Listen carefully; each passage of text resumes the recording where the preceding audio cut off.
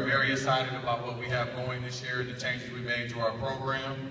Um, our boys have been working extremely hard in the offseason, uh, conditioning and weight training, um, and also in the classroom, learning uh, our new schemes on both offensively, defensively, and special, on special teams. Um, with me today, I brought